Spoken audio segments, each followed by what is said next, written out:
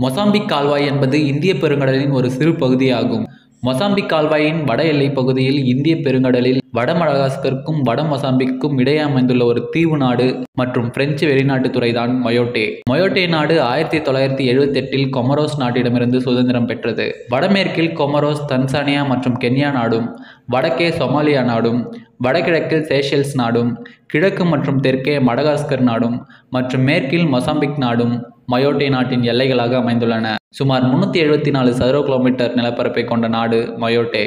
இரண்டாயிரத்தி இருபத்தி ஓராம் ஆண்டின் கணக்கெடுப்பின்படி மயோட்டே நாட்டின் மொத்த மக்கள் தொகை ரெண்டு லட்சத்தி எண்பத்தெட்டாயிரத்தி தொள்ளாயிரத்தி இருபத்தி ஆறு. அதிக மக்கள் தொகை கொண்ட உலக நாடுகள் பட்டியலில் மயோட்டே நாடு நூற்றி எண்பத்தி ஆறாவது இடத்தில் உள்ளது. மயோட்டே நாட்டில் வறுமை கோட்டிற்கு கீழே வாழும் மக்கள் அதிக எண்ணிக்கையில் உள்ளன. கடல் ஆமைகள் முட்டையிடுவதைக்கான இந்திய பெருங்கடலில் உள்ள மயோட்டே நாட்டின் மோயோ கடற்கரை ஒரு சிறந்த இடமாகும். மார்ச் முதல் ஜூன் வரை கிட்டத்தட்ட ஒவ்வொரு இரவும் ஆமைகள் முட்டையிட இக்கடற்கரைக்கு வருகின்றன. சுமார் அறுநூத்தி அறுபது மீட்டர் உயரம் கொண்ட பெனரா என்கிற சிகரம் தான் மயோட்டே நாட்டின் மிக உயர்ந்த சிகரமாகும். மயோட்டே நாட்டின் தாழ்வான பகுதியாக இந்திய பெருங்கடல் உள்ளது. மயோட்டே நாட்டில் காஃபி தேங்காய் லவங்கப்பட்டை வெண்ணிலா மற்றும் வாசனை திரவியம் ஆகியவற்றை உற்பத்தி செய்கின்றன. மயோட்டே நாட்டு மக்கள் இருக்கும் பகுதி ஒரு தீவு என்பதால் அங்கு கடல் உணவுக்கு பஞ்சம் கிடையாது.